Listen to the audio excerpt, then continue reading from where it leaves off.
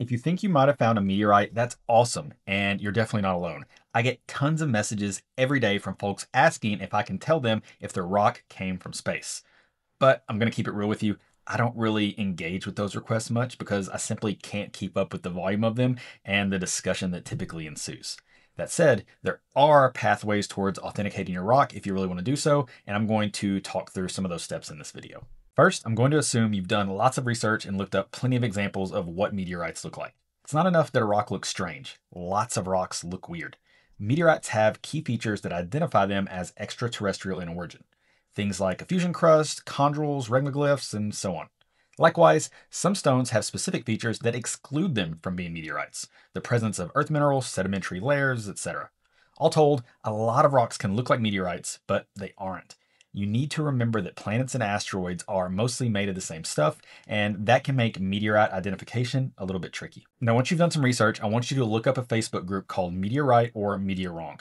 It's full of expert volunteers who've studied meteorites for years, including several of my friends and colleagues. Start by reading their guidelines, and then you can post photos of your rock along with some basic information about its discovery. The images need to be high quality and show the stone in good lighting from all sides. The folks there will chime in and help you figure out whether you're on the right track with a visual inspection. With all that said, I want to stress that these folks are volunteers. They aren't paid for this work. Also, their expertise is in meteorites, not geology more broadly speaking. They can usually pretty definitively say that something isn't a meteorite from visual inspection, but that doesn't mean they can tell you what sort of earth rock or slag it might be. Now, if your rock does seem like a real meteorite, they'll guide you to the next step, which might include sending a sample to a lab for classification, but that's only after it shows real promise. Now, you might be saying, Chris, why not skip that step and go straight to the lab? I'm glad you asked. It's primarily because there aren't many meteoritic labs, and they're mostly already overwhelmed with wait times for classifications taking months or years. If these labs had to test every rock someone thought was a meteorite, they'd never get anything done.